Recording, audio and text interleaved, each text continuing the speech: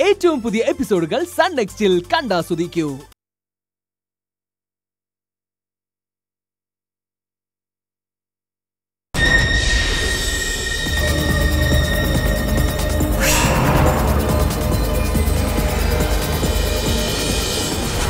കഥകൾക്കപ്പുറം. ഒരു ചിരഞ്ജീവി തന്ത്രിയായ ക്ഷേത്രത്തിന്റെ കഥ ഇതാ മാലോകരെ ആകെ അത്ഭുതപ്പെടുത്തുന്നു. വായുപുത്രൻ ഹനുമാൻ വാലുകൊണ്ടടിച്ച് നിർമ്മിച്ച ചിറയും മുഹൂർത്തം തെറ്റിച്ച് ചെയ്ത പ്രതിഷ്ഠയുമുള്ള ഒരു ക്ഷേത്രം. വൈക്കത്തപ്പന്റെ ഉപാസകനായ സംഗീതജ്ഞൻ ദക്ഷിണാമൂർത്തിയുടെ വരവോടെ പൂർവപ്രതാപങ്ങളെ വീണ്ടെടുത്ത പുരാതന ക്ഷേത്രത്തിന്റെ അത്ഭുത കഥയാണിത്.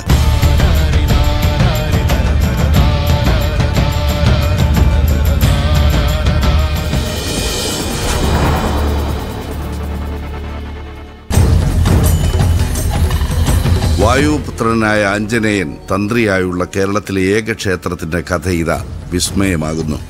വില്ലുമംഗലത്തിന് മാത്രമേ ഭഗവാനെ ഉടലോടെ ദർശിക്കാൻ കഴിയൂ എന്നിരിക്കെ വൈക്കത്തപ്പന്റെ പരമഭക്തനായ സംഗീതജ്ഞൻ ദക്ഷിണാമൂർത്തിക്ക് മുമ്പിൽ ഹനുമാൻ സ്വാമി പ്രത്യക്ഷപ്പെട്ടത് എങ്ങനെ? പൗരാണികത കൊണ്ടും ചരിത്രം കൊണ്ടും അനുഗ്രഹങ്ങളാലും മർക്കടൻ പ്രതിഷ്ഠിച്ച ഈ ക്ഷേത്രം അത്ഭുത കഥകൾ പറയുന്നു. മക്രേരി സുബ്രഹ്മണ്യസ്വാമി ക്ഷേത്രം. കണ്ണൂർ ജില്ലയിലെ പെരളശ്ശേരിക്കടുത്താണ് ഈ ക്ഷേത്രം സ്ഥിതി ചെയ്യുന്നത്. ഹനുമാൻ സ്വാമിക്ക് ഗതയും വടമാലയും ചാർത്തിയാൽ ജീവിത പ്രശ്നങ്ങൾക്ക് പരിഹാരമാകുമെന്നാണ് വിശ്വാസം. ആയിരക്കണക്കിന് ആളുകളാണ് തങ്ങൾ അനുഭവിച്ച ഫലസിദ്ധി ഞങ്ങളോട് പങ്കുവച്ചത്. പെരളശ്ശേരിയിൽ വന്നാൽ മക്രേരിയിൽ തൊഴാതെ പോകരുത് എന്നാണത്രേ വിശ്വാസം. ചെറുതു മുതലേ വരുന്നതാണ്. പക്ഷേ ഇതുവരെ ഈ അമ്പലത്തിൽ ഇപ്പം മൂന്നാമത്തെ തവണയാണ് വന്നിട്ടുള്ളത്. ഇവിടെ വരാനുള്ള കാരണം എനിക്കൊരു ചെറിയൊരു പരാജയം ഉണ്ടായി. അത് ഞാൻ പുറത്തു നിന്ന് അന്വേഷിച്ചപ്പോൾ ഇവിടെ വരാനും ഇവിടെ ചെറിയ ഹനുമാൻ ഗതയൊപ്പിക്കലും വടമാല അങ്ങനെയുള്ള ചെറിയ ഇതൊക്കെ ഉണ്ട് അത് ചെയ്യാൻ പറഞ്ഞു. അങ്ങനെയാണ് ഞാൻ ഇവിടെ വരാനിടയായത്. ഏകതന്തം മഹാകായം.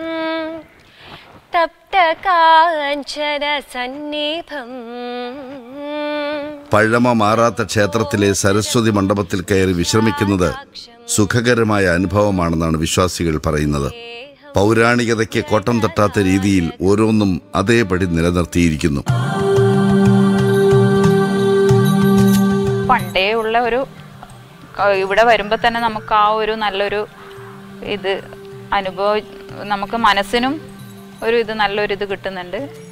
പ്രത്യേകിച്ച് ഈ സരസ്വതി മണ്ഡപത്തിൽ കയറി കഴിഞ്ഞാൽ അതിനകത്തുള്ള ആ ഒരു ചെറിയൊരു മ്യൂസിക് കേട്ട് കഴിഞ്ഞാൽ തന്നെ എനിക്ക് ഇതിനു മുന്നേ രണ്ട് തവണ വന്നപ്പോഴും അതിനുള്ളിൽ നിന്ന് കഴിഞ്ഞാൽ നമുക്ക് എന്തോ പെട്ടെന്നൊരു വല്ലാത്തൊരു ഫീലാണ്. ശക്തിപൂർവമായ പ്രതിഷ്ഠാ സങ്കല്പമാണത്രേ ആഞ്ജനേയം. ശ്രീരാമൻ മഹാവിഷ്ണു രൂപത്തിൽ ആരാധിക്കപ്പെടുന്ന മൂന്ന് മഹാവിഷ്ണു ക്ഷേത്രങ്ങൾ ഒരേ ക്ഷേത്ര സമുച്ചയത്തിൽ സ്ഥിതി ചെയ്യുന്നു എന്നതും ഇവിടുത്തെ പ്രത്യേകതയാണ്. അത്രയേറെ പുരാതനമാണ് ഈ ക്ഷേത്രം എന്നതിന്റെ തെളിവായി ഇടയ്ക്കൽ ഗുഹയിൽ കാണപ്പെടുന്നത് പോലുള്ള ബ്രാഹ്മി ലിഖിതം ഇവിടെയും ദർശിക്കാനാകും.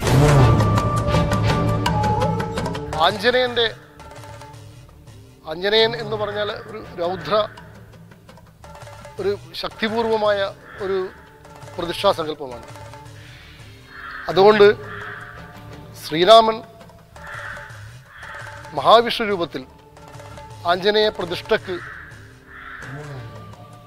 പടിഞ്ഞാറും കിഴക്കും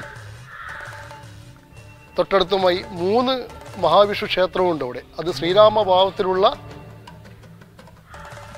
മഹാവിഷ്ണു ക്ഷേത്രങ്ങളാണ് അത് കേരളത്തിൽ എവിടെ തന്നെയും എവിടെ പോയാലും കാണാൻ കഴിയില്ല. ഈ ക്ഷേത്രം നന്ദരാജവംശത്തിന്റെ കീഴിലായിരുന്നു എന്നും ക്ഷേത്രത്തിനെ അഭിവൃദ്ധിപ്പെടുത്താനുള്ള രാജശാസനങ്ങളാണിതെന്നും പറയപ്പെടുന്നു.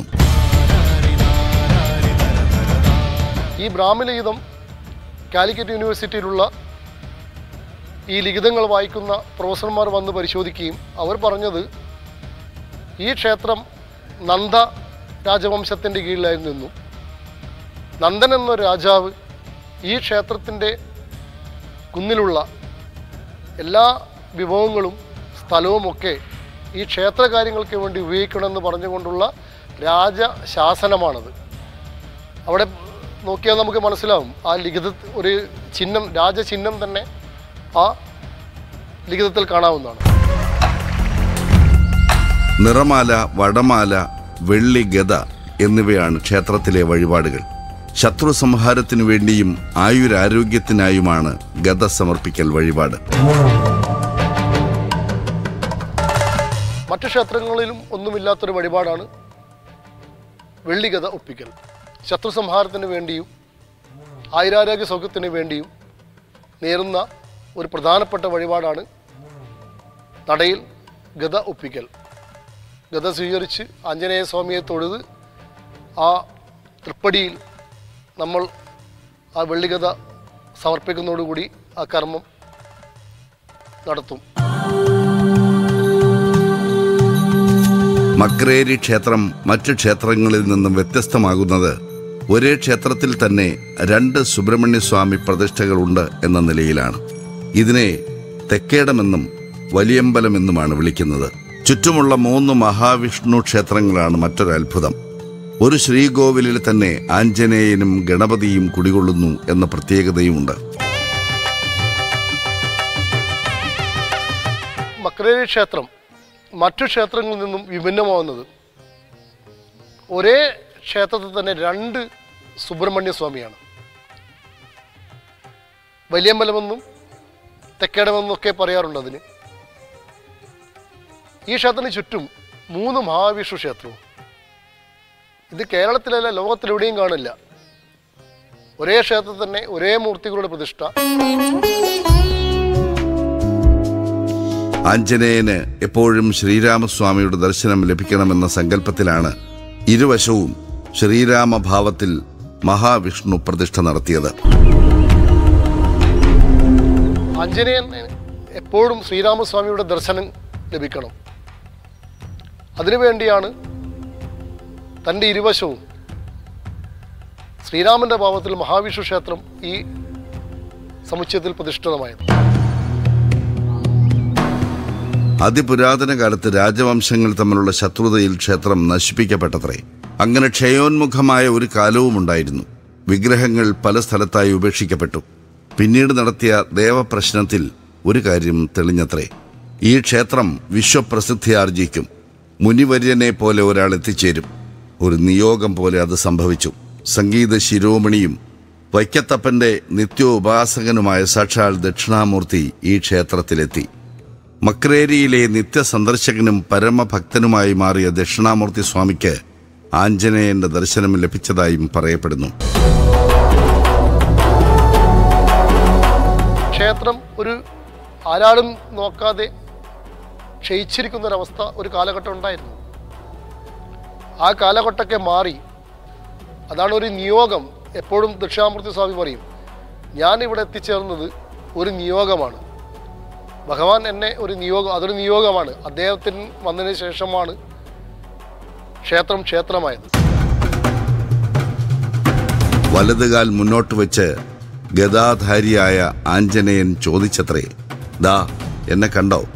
ആ സ്വപ്ന ദർശനത്തോടെ സ്വാമി അവിടുത്തെ ഉപാസകനായി. അതോടെ താൻ പൂർവികമായി ആരാധിച്ചു വന്ന വൈക്കത്തപ്പന്റെ പ്രതിഷ്ഠയും ഒരു പുരുഷായുസ് കൊണ്ട് സംഗീത സബരിയിലൂടെ നേടിയത് അത്രയും സ്വാമി മക്രേരിയിൽ സമർപ്പിച്ചു അത്രേ. ദക്ഷിണാമൂർത്തി നിർമ്മിച്ചു നൽകിയ സരസ്വതി മണ്ഡപത്തിൽ അദ്ദേഹത്തിന്റെ പുരസ്കാരങ്ങളും സമർപ്പിക്കപ്പെട്ടു. സംഗീതത്തിന്റെ ദേവനും കൂടിയായ ആഞ്ജനേയ സ്വാമിക്ക് മുമ്പിൽ ദക്ഷിണാമൂർത്തി ത്യാഗരാജ സംഗീത അഖണ്ഡനാമ യജ്ഞവും തുടങ്ങിവെച്ചു. പതിനെട്ട് വർഷം കൊണ്ടാണത്രേ ആ യജ്ഞം പൂർത്തിയായത്. എല്ലാ ഡിസംബറിലും അവസാനത്തെ വെള്ളി ശനി ഞായർ ദിവസങ്ങളിലാണ് ഇപ്പോൾ സംഗീത യജ്ഞം നടത്തിവരുന്നത്. സംഗീത വിദ്യാർത്ഥികൾ അപൂർവമായ ത്യാഗരാജ കീർത്തനങ്ങളിലൂടെ ഇവിടെ അർച്ചന നടത്തുന്നു. സന്നിഭം ലംബോധരം വിശാലാക്ഷം വന്ദേഹം ഗണനായകം. ദക്ഷിണാമൂർത്തി സ്വാമി രണ്ടായിരത്തിൽ ഈ ക്ഷേത്രത്തിൽ എത്തിച്ചേരുകയും അദ്ദേഹത്തിന് ആഞ്ജനേയൻ നേരിട്ട് ദർശനം നൽകുകയാണ് ചെയ്തത്. അദ്ദേഹത്തിന്റെ വാക്കുകളിൽ കൂടി തന്നെ പറയാം ഒരു കാൽ വലതുകാൽ മുന്നോട്ട് വെച്ച് ഗത എടുത്തുകൊണ്ട് ആ എന്നെ കണ്ടോ? എന്നിങ്ങനെയാണ് ദക്ഷിണാമൂർത്തി സ്വാമി പറഞ്ഞത്. അദ്ദേഹത്തിന്റെ വാക്കുകൾ കാണുമ്പോൾ നമ്മൾ നേരിട്ട് ആഞ്ജനേയനെ കണ്ട പ്രതീതിയാണുള്ളത്. അതിനുശേഷമാണ് അദ്ദേഹം താൻ പൂർവികമായി ആരാധിച്ച വൈക്കത്തപ്പന്റെ പ്രതിഷ്ഠയും ഒരു പുരുഷായത്തിന്റെ സംഗീത സഭരിയിൽ അദ്ദേഹം നേടിയിട്ടുള്ള എല്ലാ പുരസ്കാരങ്ങളും ഈ ക്ഷേത്രത്തിലേക്ക് സമർപ്പിക്കാമെന്ന് പറഞ്ഞു. ജലം അഗ്നി എന്നിവ മൂലമുണ്ടാകുന്ന ഭീതി മാറ്റാൻ മക്രേരിയയിലെ ഗത വഴിപാട് ഉത്തമമാണത്രേ.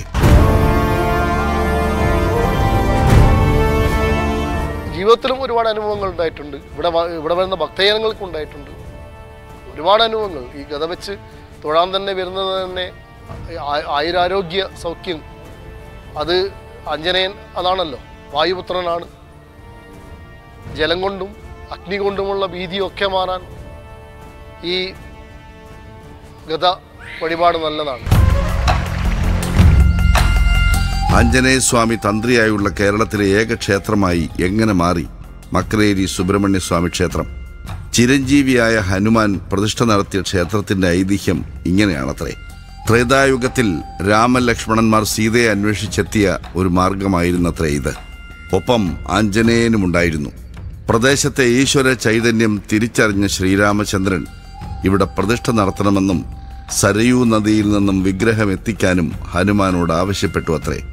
എന്നാൽ മുഹൂർത്തം കഴിഞ്ഞിട്ടും ആഞ്ജനേയൻ എത്താതായതോടെ ശ്രീരാമൻ തന്റെ പെരുവളയൂരി പ്രതിഷ്ഠിച്ചു.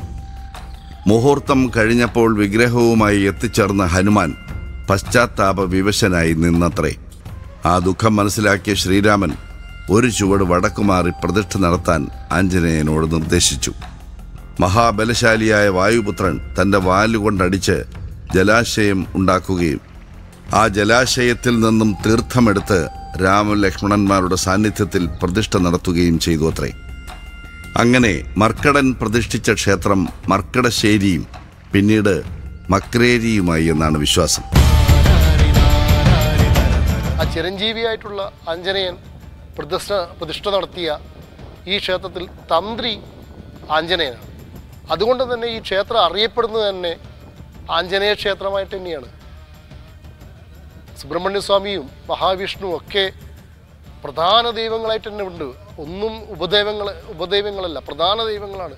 മഹാവിഷ്ണു സുബ്രഹ്മണ്യ സ്വാമിക്ക് പക്ഷേ അഞ്ജനേയന്റെ സാന്നിധ്യമാണ് ഇവിടെ കാണാനുള്ളത്. ആഞ്ജനേയൻ പ്രതിഷ്ഠിച്ച സുബ്രഹ്മണ്യ സ്വാമിയെ തൊഴുത് പ്രാർത്ഥിച്ചവർക്കൊക്കെ അനുഗ്രഹങ്ങൾ ധാരാളം ലഭിച്ചതായാണ് വിശ്വാസികൾ പറയുന്നത്.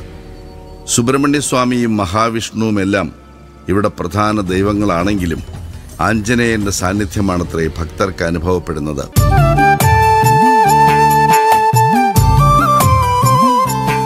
എനിക്ക് കുഞ്ഞുങ്ങളുണ്ടായിരുന്നില്ല.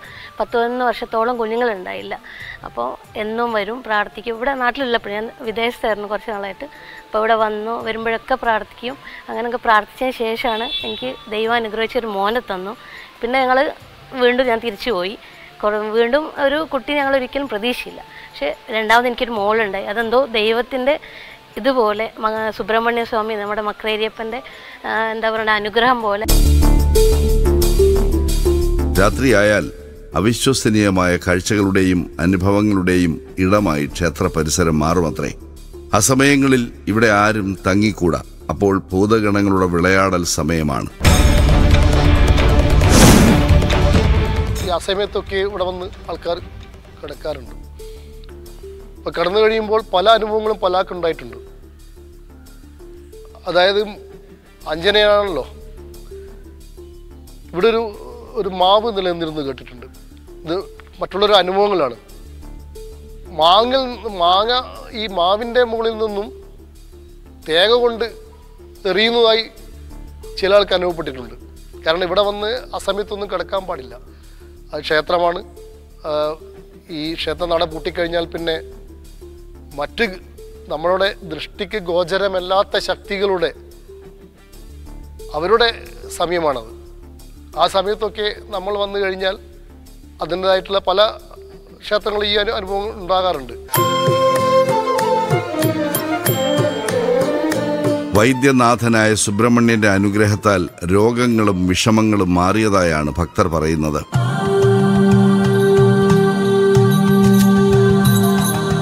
ഒരു ദിവസം തുടങ്ങുന്നത് ഇവിടെ വന്ന് തൊഴുതിട്ട് പോയതിന്റെ ശേഷം. എനിക്ക് പല പല അനുഭവങ്ങളും ഓരോ കാര്യത്തിനും വരുന്ന ആ ഒരു ശക്തി ആ ഭഗവാനിൽ നിന്ന് കിട്ടിയതിന്റെ ഒരു ശക്തി കൊണ്ടാണ് രോഗാവട്ടെ മറ്റുള്ള വിഷമങ്ങളാവട്ടെ എന്തുകൊണ്ടും ആ വൈദ്യനാഥൻ സുബ്രഹ്മണ്യം വൈദ്യനാഥനാണ്.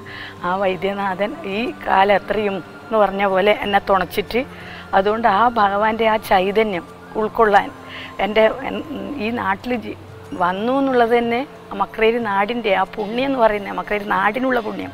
ആ ഭഗവാന്റെ ചൈതന്യം തന്നെയാണ്. ദിവസവും വന്ന് ഞാനിവിടെ മുട്ടുകുത്തി പ്രാർത്ഥിക്കും കരഞ്ഞുകൊണ്ട് പ്രാർത്ഥിക്കും. എങ്ങനെ ഭഗവാൻ ഇനി എന്ത് വഴി കണ്ടിട്ടാണ്? അപ്പോൾ എനിക്ക് ഇതെല്ലാം കഴിഞ്ഞിട്ട് ഒരു ദിവസം ഇങ്ങനെ സ്വപ്നത്തിൽ ആരോ വന്ന് എന്നോട് പറയുന്നതാണ്. ബേജാറാവണ്ട ഞാൻ സഹായിച്ച. അപ്പോൾ അത് ആ ഒരു എല്ലാ നില നമ്മൾ വിചാരിക്കാത്തത്ര നിലയിൽ എനിക്ക് ആ കാര്യങ്ങൾ സാധിച്ചെടുക്കാൻ കഴിഞ്ഞിട്ടുണ്ട്. ഉച്ചസമയത്ത് ക്ഷേത്ര ദർശനത്തിനായി എത്താൻ പാടില്ലെന്നും വിലക്കുണ്ട്. വിഷ്ണുവിന്റെ ഒരു പ്രതിഷ്ഠയുടെ ഭാഗം നരസിംഹമൂർത്തിയാണെന്ന് അടുത്തു നടന്ന താമ്പൂല പ്രശ്നത്തിൽ തെളിഞ്ഞത്രേ.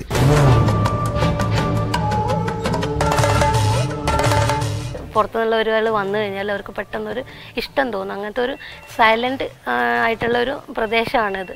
പണ്ടൊക്കെ എന്റെ അച്ഛനൊക്കെ പറഞ്ഞു കേട്ടിട്ടുണ്ട് ഇവിടെ അങ്ങനെ ഉച്ച സമയത്തൊന്നും വരാൻ പാടില്ല വന്നിരിക്കാൻ പാടില്ല. അത്ര ശക്തിയുള്ള ദൈവങ്ങൾ ഇവിടെയുള്ള മൂന്ന് മൂന്ന് മഹാവിഷ്ണു ആണ് ഇവിടെ ഉള്ളത് ചുറ്റിലും അമ്പലത്തിൽ ഹനുമാൻ സ്വാമീന്റെ ഒക്കെ ശക്തി കുറക്കാണെന്നൊക്കെ പറഞ്ഞിട്ടാണ് ഉള്ളത്.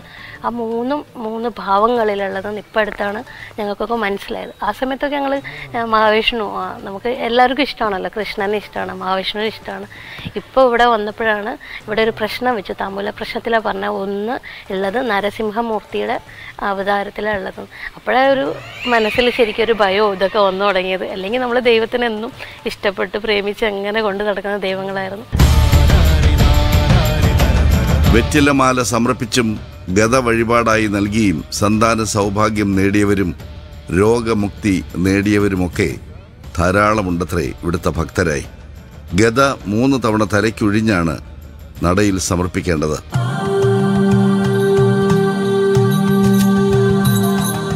ഗതിയൊപ്പിക്കൽ എന്ന് പറഞ്ഞാൽ ഉദ്ദിഷ്ട കാര്യസിദ്ധിയാണ് അതിന്റെ പ്രധാനം. ഓരോരുത്തർക്കും വിചാരിച്ച കാര്യങ്ങൾ നടന്ന പല അനുഭവങ്ങളും ഇവിടെ വന്ന് പറഞ്ഞിട്ടുണ്ട്. പിന്നെ വെണ്ണ മറ്റുള്ള വഴിപാടുകൾ പറഞ്ഞാൽ വെണ്ണമൊഴുക്കാപ്പ്.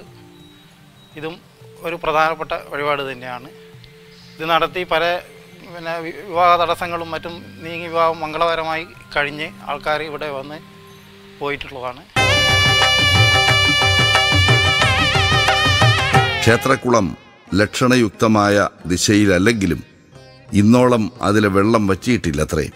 ആഞ്ജനേയ സ്വാമി വാലുകൊണ്ടടിച്ചുണ്ടാക്കിയ ഈ കുളത്തിൽ ഇന്നോളം അപമൃത്യു ഉണ്ടായിട്ടില്ലെന്നതും ഒരത്ഭുതമായാണ് വിശ്വാസികൾ പറയുന്നത്. ഒരേക്കറോളം സ്ഥലത്താണ് കുളം സ്ഥിതി ചെയ്യുന്നത്. ക്ഷേത്രപ്പം ഹനുമാരെ വാലുകൊണ്ടടുത്ത് പിന്നെ ഒഴിച്ചതാണ് കുളന്നാണ് പറയുന്നത്. എന്നാലും ക്ഷേത്രം പിന്നെ ക്ഷേത്രത്തിന്റെ കിഴക്ക് വയസ്സല്ല കുളം വടക്ക് വയസ്സല്ല. ഒരു കോണുള്ളിയാണ്. അതേപോലെ ചിറ നിൽക്കുന്നത് തന്നെ നേരെ തെക്ക് വടക്ക് കിഴക്ക് പടിഞ്ഞാറായിട്ടില്ല ഒരു കൂണുള്ളിയാണുള്ളത് ഒരു ശരിക്കുള്ളൊരു ഡയമെൻഷനിലല്ല ഉള്ളത്. പിന്നെ എപ്പോഴും ഇതുവരെ വെള്ളം വറ്റിയിട്ടുള്ള ഒരു ചരിത്രം കേട്ടിട്ടില്ല. അതുപോലെ അവിടെ കുളത്തിൽ എന്ന് പറഞ്ഞാൽ മറ്റുള്ള പല സ്ഥലത്തും ക്ഷേത്ര കുളങ്ങളിൽ ഒരുപാട് അപമൃത്തികളൊക്കെ ഉണ്ടായിട്ടുണ്ട്. പക്ഷേ ഇവിടെ ഇതുവരെയും അങ്ങനെ ഒരു ചരിത്രം പറഞ്ഞു കേട്ടിട്ടില്ല. ഒരു അപമൃത്തി ഉണ്ടായിട്ടുള്ളതോ അല്ലെങ്കിൽ വേറെ ദോഷം ഉണ്ടായിട്ടുള്ളതോ പറഞ്ഞു കേട്ടിട്ടില്ല. കുംഭത്തിലെ മകയിരമാണ് പ്രതിഷ്ഠാദിനം. മകരത്തിലെ പൂയമാണ് തൈപ്പൂയമായി ആഘോഷിച്ചു വരുന്നത്. ഉത്സവം പ്രധാനപ്പെട്ടതെന്ന് പറഞ്ഞു കഴിഞ്ഞാൽ ആഞ്ജനേയന്റെ പിന്നെ സംഗീത ആരാധനയായിട്ടാണ് ഉള്ളത്. ഡിസംബർ അവസാനത്തെ വെള്ളി ശനി ഞായർ ഈ ദിവസങ്ങളിൽ അഖണ്ഡ സംഗീതാരാധന ആയിട്ടാണ് ഉള്ളത്. പിന്നെ പ്രതിഷ്ഠാദിനം അത് കുംഭമാസത്തിലെ മകീരം. പിന്നെ തൈപ്പൂയം മകരമാസത്തിലെ പൂയ മാസം ഇങ്ങനെയാണ് ഇവിടെയുള്ള ഉത്സവങ്ങളുടെ സ്ഥിതിയുള്ളത്. നാശോന്മുഖമായ ഒരു ക്ഷേത്രത്തിന്റെ പൂർവപ്രതാപങ്ങളെ വീണ്ടെടുക്കാനും തനിക്കുള്ളതെല്ലാം മക്രേരിക്ക് ദാനം ചെയ്യാനും ഒരു നിയോഗം പോലെ ദക്ഷിണാമൂർത്തി ഇവിടെ എത്തി. വൈക്കത്തപ്പന്റെ നിത്യോപാസകനിലൂടെ മക്രേരി എന്ന നാട് വളർന്നു. സംഗീതത്തിലൂടെയും വിശ്വാസത്തിലൂടെയും.